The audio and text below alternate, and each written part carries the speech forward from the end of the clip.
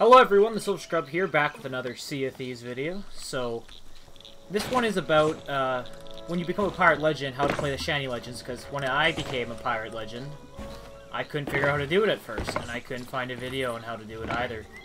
Only Reddit posts. So I thought I'd make one, although I'm probably really late to the party, because this game's been out for a while. And most of you probably Pirate Legends already, but in case you're not, first things first to become a Pirate Legend, not like that.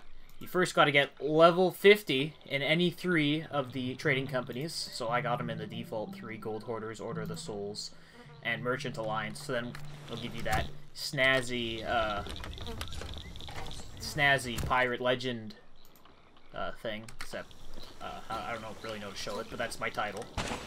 You get that by talking to Mysterious Stranger, and then he'll give you some cool, like, gear and then he'll give you a song called the Shanty Legends, which you can play in any tavern.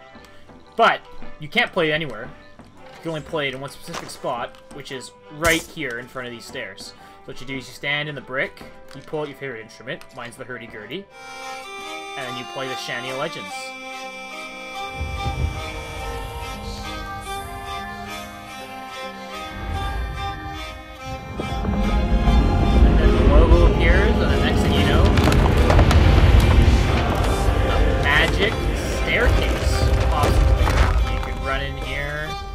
Cool. You can keep playing the Shanty Legends. It's actually a nice song.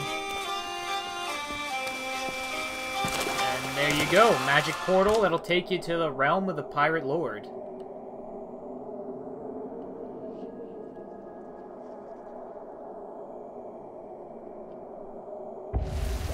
Once here, you got like this cool area where there's like fancy ghosts playing music over there. There's a shit place lady. You could like buy like a Athena gear here. It's pretty cool.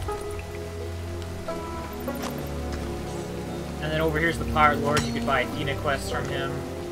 And yeah, so that's pretty much what you gotta do once you become a Pirate Legend.